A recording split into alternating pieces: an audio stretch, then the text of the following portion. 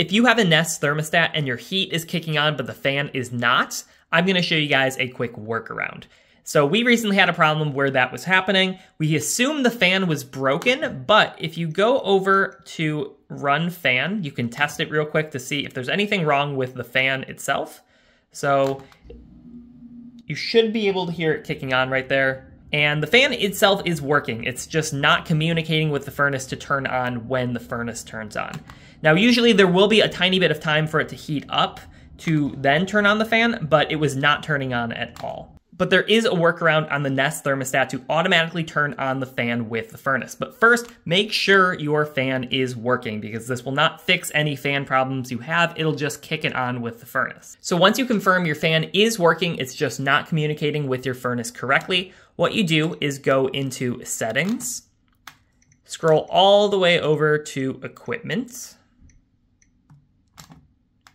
continue, continue again, and then go to Pro Setup.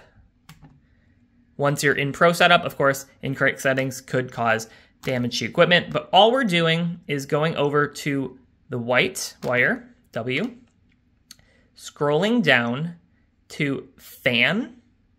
Uh, right now, it, yours should be on don't activate, but click on it so it turns blue, and then you're able to change it from there. So you can do activate or don't activate.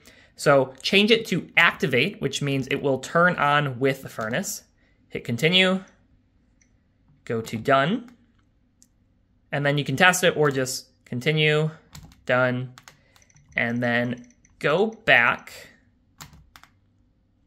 And then you can test it real quick by turning on the furnace and your fan should automatically kick on with it. It will not wait a few seconds like normal, it will automatically go and then turn on. If it does not turn on, automatically shut this off because you do not want it running without the fan. If you have any questions, let me know in the comments down below. If you're smelling smoke or anything like that, or the fan is not kicking on, make sure you turn your furnace off, see a technician. Also, you can call your fire department. They can check on it if you have a problem, if you're smelling smoke or if you're scared there's going to be a fire. They will be happy to come out and check. If you found this video helpful, please leave a like on the video. It helps me out a ton. Thank you so much for watching.